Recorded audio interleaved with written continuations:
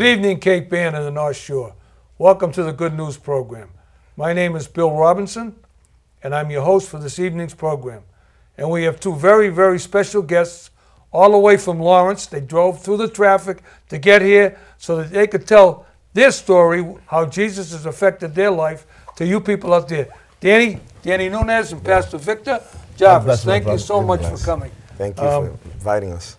Wow, this is this is dynamite. You know what? I wanted I want to explain to these people that you you guys just didn't fall out of the planet Zatar or something. You know that how God has got uh, ways to hook up people's lives and and and uh, there's always the divine appointment when we don't expect it. So I want to tell you, I met Danny first.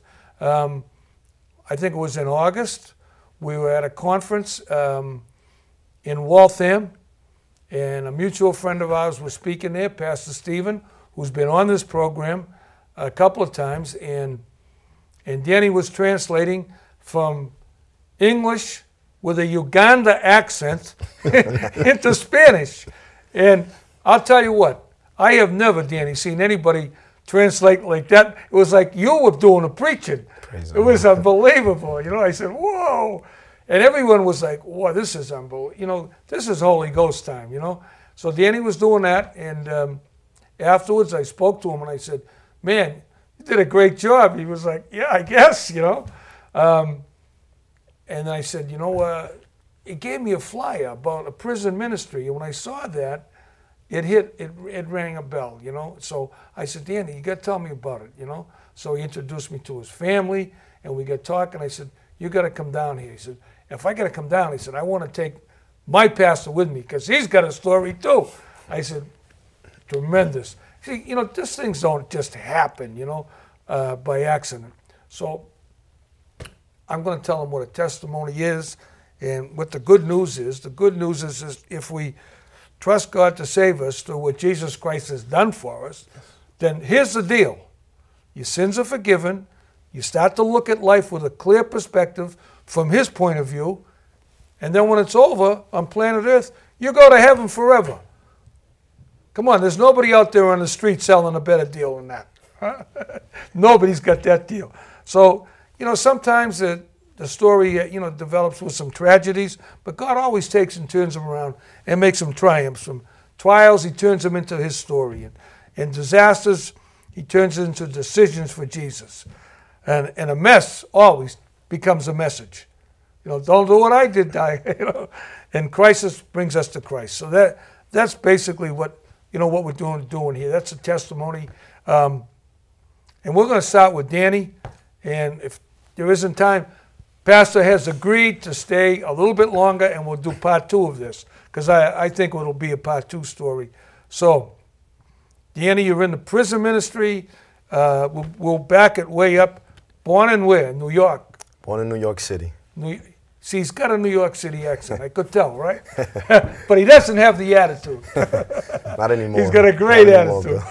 Um, so you grew up in Lawrence. Grew up in Lawrence, yes. Um, I was, you know, a regular kid as, as far as, you know, growing up um, in the, the neighborhood of Lawrence with my my mom, single mom. Yeah. You know, um, there's six of us in the family. You know, just doing my business. You know, with the with the friends of mine, just growing up. Yeah. You know, having fun when we were young. You know, Yeah. just hanging out, doing our thing. You know Yeah. Like every kid today. like every kid today, yes. But eventually, you know, as time went by, start getting into a little bit of trouble, you know. you told me you were an altar boy. well, yes, but I wasn't always in the church, right? you didn't So- live there, babe. That's right. So, as I was growing up and learning things on the streets yeah. and not learning it as well at home because of the lack of the presence of a dad at home, Yeah. that became uh, a negative influence, Yeah. negative had negative effect on my life. Yeah.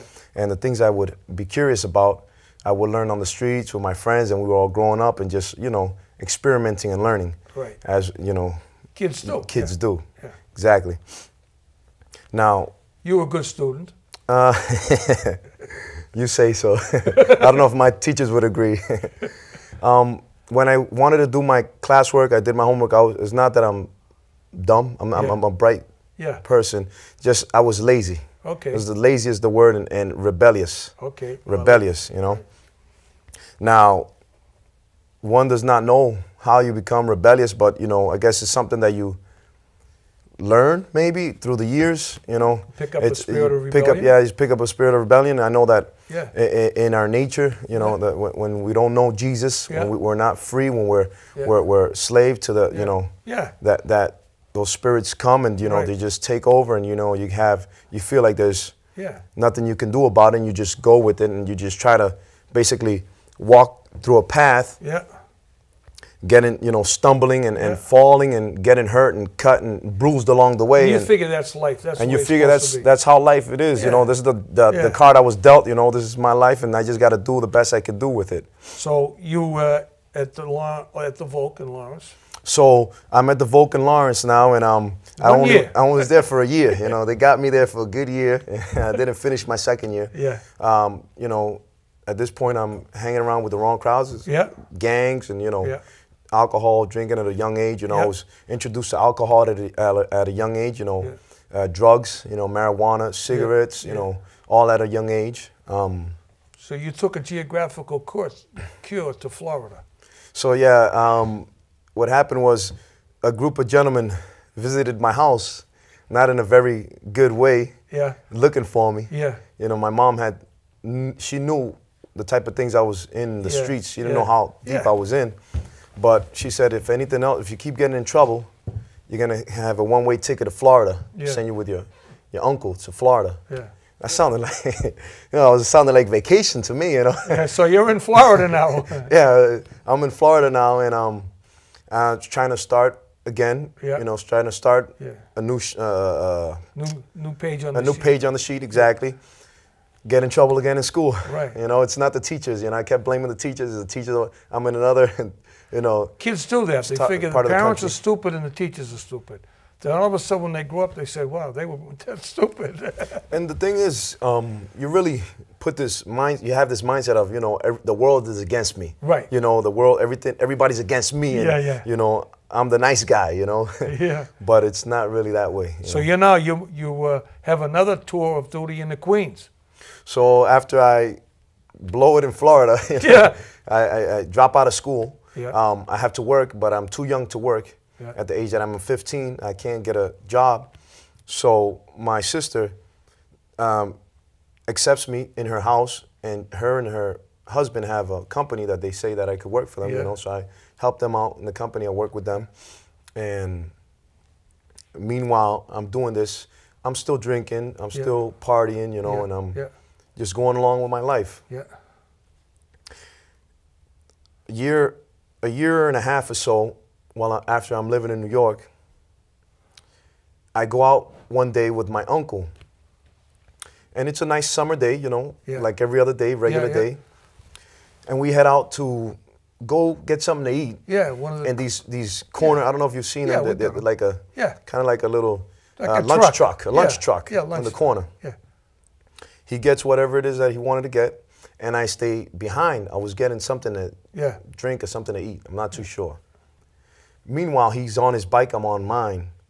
He's heading back towards home. Summer day, he's looking around, he's waiting for me. All of a sudden, I hear some screeching tires about a block up the street. Mm-hmm. I know I'm sitting on my bike, and I hear a voice that came out of inside of me. It felt like it came out of inside of me. Mm-hmm. I could hear it inside of me say, Don't move from where you are mm-hmm. and look at that car that's coming. So I decided to listen to the voice. And I said, Well, you know, maybe the car's gonna do a show, a smoke show, or something. yeah, The car is coming, barreling down the street. We're at the corner of a stop. uh, We're at the corner of a, uh, of a sidewalk mm-hmm. where the lunch truck is stopped. The car all of a sudden decides to jump the sidewalk. Flies right behind me. I'm frozen into the path of where my uncle was. right, So at that moment, I lose my audio yeah, and my voice. Yeah. It felt like slow motion. yeah, I couldn't even scream to him. I couldn't even warn him. Yeah. He gets hit by the car. He goes flying. Yeah. He hit, lands on the car. Wow. The car's on the sidewalk. The car turns back on the street. The body flies, his, his body literally flies Wow. towards the street that way. And you're okay. I'm okay. Wow. If I would have not listened to the voice, Right. who knows? First experience. Uh, We're talking about experiences, folks. God moves through experiences. You say, well, you know what? Hey, listen, I have two gentlemen right in front of me that you're going to hear experiences. Okay. And I'm going, I want to fast forward this a little bit. Now you're back to Lawrence. You're working, you're making some money, you're doing the party scene all over again. Um, you got those pictures, Danny, get them ready Yes. because I want these people to see what, what, what it looks like. Um, tell me if I got this straight. You're at your brother's house, you're drinking, you practically you go into like a blackout, you go to the clubs. I want you to watch these pictures. If you're telling me that God isn't involved here in this man's life and he he has an absolute supernatural protection upon him. You've heard the first story, you've heard all the times when he was a kid growing up, he came close, like a lot of us, but nothing happened. You're at the club, you don't remember. The next thing, you're in a car with these guys. And show them the picture, Danny. Can you get that picture on?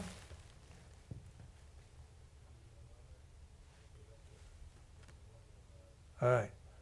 Okay. You were cut out of that car with the jaws of life, unconscious, At the age of 18, at the age of 18. at the age of 18, I was, like you said, I was partying. We were in the nightclub. The last thing I remember was that I was taking a drink and I was going towards the dance floor. From then on, I only remember waking up in the hospital. Everything that I'm going to tell you from then on is accounts that I've heard. yeah. So we left the scene. We left the club scene. We were. This was a car, a friend, a friend of my brother's car, Oh, brand yeah. new car. His actually his girlfriend's car. Yeah, right. I remember this brand story. new. Yeah. So we leave the scene. Everyone else is, you know, in Yeah. a similar state or worse. Yeah. You know, intoxicated and also high on drugs. You know, high on cocaine. Yeah. So the the driver of the car had crashed in the parking lot when we were leaving, and I tell him, you know, you should let me drive. I had just gotten my license a few months earlier. Oh, yeah. You should let me drive. You're, You're too drunk expert. to drive. Yeah, right. You know, you're too drunk. I'm an expert. You're too drunk to drive. He figures that it's a good idea. Everyone else does. we leave the place. Along the way, we get into, we, we, we crash on a sidewalk. We get a flat tire. You know, we end up stopping at a at a, a, uh, Yeah. a corner store that you know many people hang out with afterwards. yeah. One of the guys that are in the back of the car says, "I'm leaving because these guys they're gonna get into a dangerous accident. Right. Something's gonna happen. Yeah. So I'm I'm bailing. Yeah. I think that's the best thing he ever did. Yeah. Now I take the guy back to where his girlfriend's house was. They were, I guess, in an argument. Right. From what I was told, Yeah. I end up deciding on leaving. Just leave him there. Wow. Take it for a cruise. I end up, I say I end up sleeping, falling asleep behind Yeah. the wheel. This is what I imagine will happen. What they tell me, the recounts that, that I get. Yeah. Full full blast into a telephone pole. Okay. Full speed into a telephone Well, pole. you saw the picture, folks. I don't know how anybody, without some miraculous intervention, could ever walk out of that. No airbags, no seatbelt. Right. You know, thank God no passenger. Right. Thank God I didn't kill someone that was walking on the street. Right. And you're waking up at the Lawrence Hospital. I'm waking up at the Lawrence General. My Yeah. mother's there, you know. I'm in the, you know, intensive care unit, you know, and um Busted up pretty good. busted up pretty bad, you know, a couple of Yeah. ribs were broken, my wrist was broken, Yeah. my hip came out of the socket. I got my my nose was broken in three parts. I had Yeah. stitches Yeah. all along my face. My clavicle was broken, you know, um, And and pretty bad. and you're working. You told me like in Billerica, and your present wife came. Just you were friends at the time. Well, we were friends at the time, yes, and she Came- came and visit me, you know, Yeah. and she was there. She would come and visit me often, you know, and Yeah. something started building up Yeah. from then. Yeah, and you became a couple. We became a couple. Yes, we got together after I was, you know, after I recovered for Yeah. a while. She was there. She was like my nurse. Yeah. You know, she would come and help me, you know, Right. and, you know, um, So you move in push me along, and we move in together. Um, we have a child together. You know, she has a child from a previous marriage. Yeah, Um, she comes to live with us, and, and I'm raising. We're raising these two girls Yeah. at home. But you're still kind of like partying. I'm still rebellious. I remember at one point in time that when I was in the recovery stage, Yeah. I was in my my a bathtub, and I was you know just saying to the Lord, "Why am I still here? Yeah. Why did you leave me? Why am I still here? Why am I alive?" I And was you don't looking even at my know him face. personally I don't know him. I just know I knew of him. You Yeah. know? But I, I was just saying to myself, you know, now I'm I'm disfigured. You know, I'm not any better than how I was before. You know, I, I still continue. I still have this anger. I still have this hurt inside of me. Yeah. Emptiness. Why am I alive? Yeah. w- were my words. Well, you're going to find out why he's alive in a few minutes. Go ahead. Yes. So you'd think I would learn from that process, but I doubt it. yes, hard headed. I would just drink more. Now, now Yeah. the times that I was drinking now, I would black out more often. Okay. Every time I would drink now, I was blacking out. And you're an angry person. Angry drunk. Yeah. Making a mess in my house, slamming, you know, um, verbally abusing. verbally abusing my wife and my kids. You know, it was something horrible. She Mm-hmm. was just living a nightmare. You know, Yeah. my family was in a, in a total nightmare. Yeah. Now, um, while I'm not drinking, you know, I'm a nice guy. You know, I have the, you know, and, my house is falling apart, but I have this mask on, you know, and, and, and everyone else thinks everything is fine, right? I, I don't see that I'm wrong, you know. Also, I, I, for me, everything is, you know, the way it's supposed to be. You know, my, my dad, you know, was like this, you know, Yeah. and, and my mom and dad broke up at an early age. The, the men that I've known in my life, you know, for the most part, uh, This I've is seen- normal. This is normal, you know. We talked earlier, folks. You know what? This is a generational thing that can be passed down. If you start looking around out there, you're going to see it, and it needs to be broken. And there's only one way you're going to break that is with the blood of the Lamb. of Christ, that's right. Yeah. Amen. It's the only way. And so what you're seeing is normal. You're a great guy. I mean, I'm- I'm- what's abnormal about drinking and, and being mad all the time and, you know, trying to run the show? Only when I, I I was only when I drank, I was a, a bad guy, you know. and that was Yeah. only, I was only like ninety percent of the time. You guys are together nine years. With a, together nine years, um, you can imagine nine years of her with me Yeah. in this situation, and um, you know, it doesn't get any better because obviously, for me, I'm not the one with the problem. She's the one that maybe Yeah. sees me differently, you know, and and I'm always right, you know. Even though deep down inside, there's something that tells you, you know, You know, somebody's listening to this out there. Danny, and they're saying, yeah. They're saying, yeah, in the depths of their heart. So I want to speed it up. Your wife is at work. Your wife is, is into the Word. She's reading it as best she can. And see, God has, has people out there in the marketplace. He has a whole army of people, you know. And a woman says, starts to witness to your wife. Um, tell me if I'm right. And then she said, we can come to your house and do a service. Yes, my my wife is was friends with a Christian Yeah. woman at church at, at, at, work, Yeah, and this woman would always witness to her, you know, Yeah. and speak to her about God, and Yeah.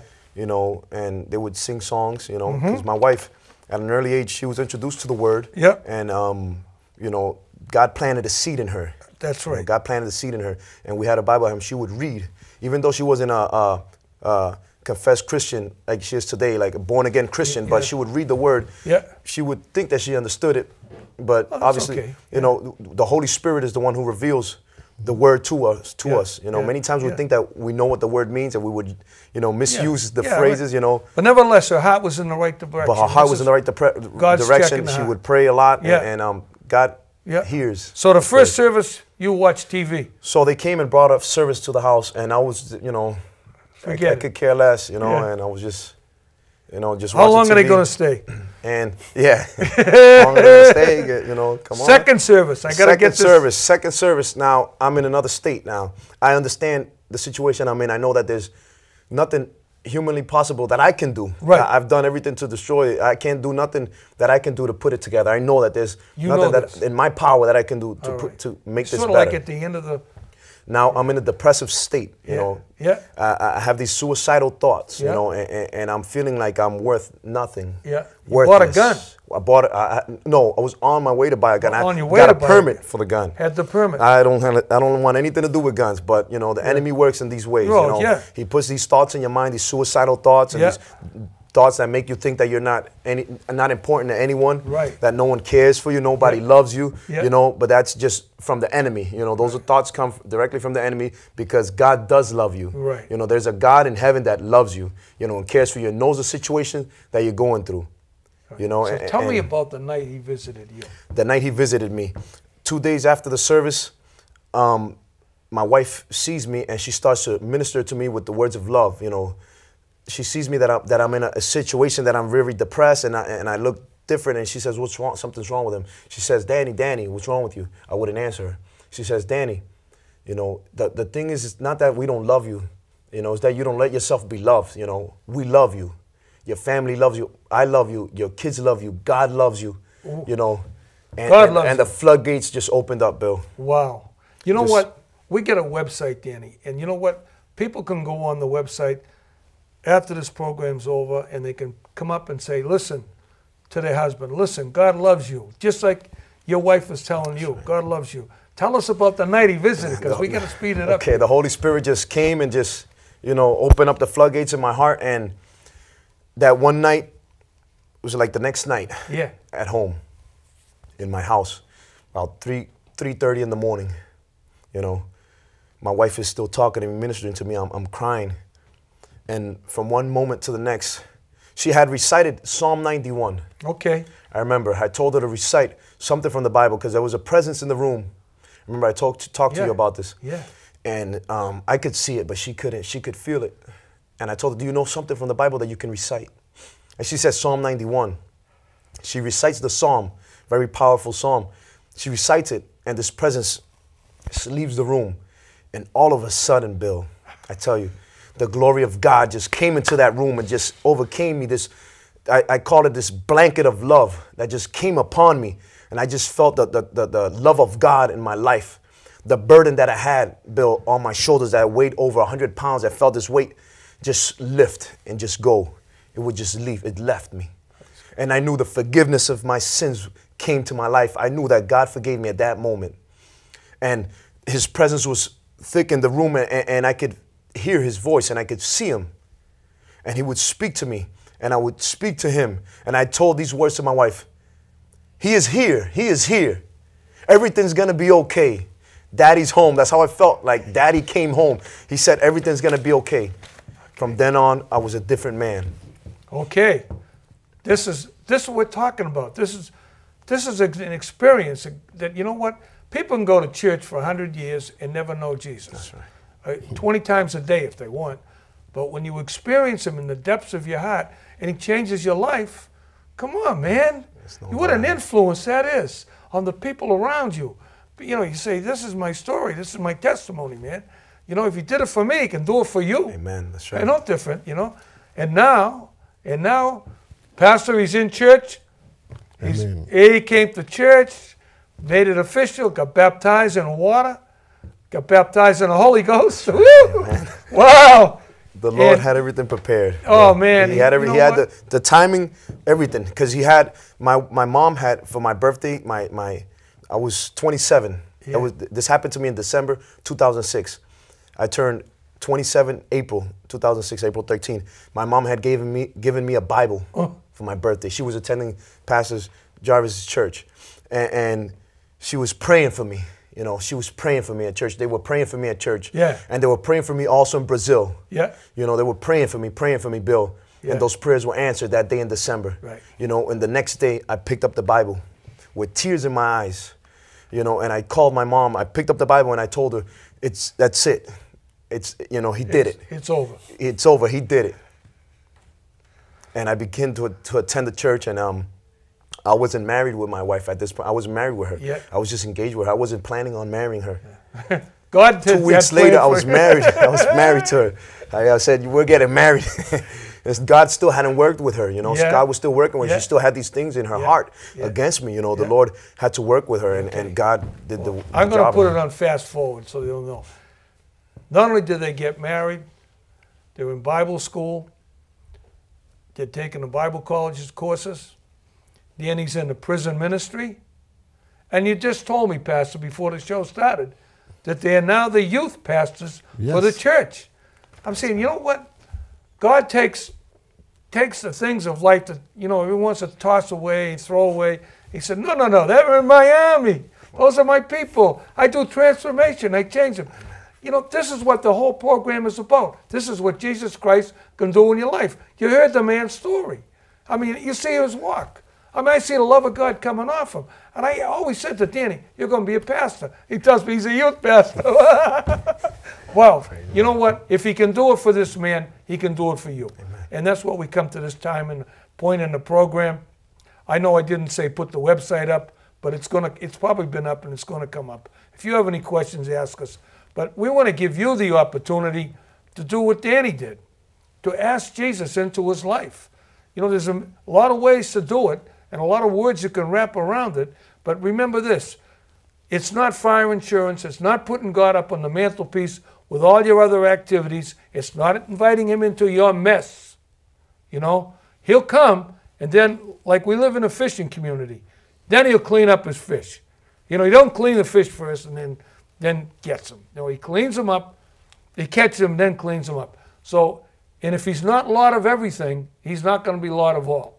Okay? That's right. That's the ground rules. Understand what the cross means. Jesus took your place. Yes. He paid the penalty for your sin. Amen. He and he washed you in his blood for salvation and healing.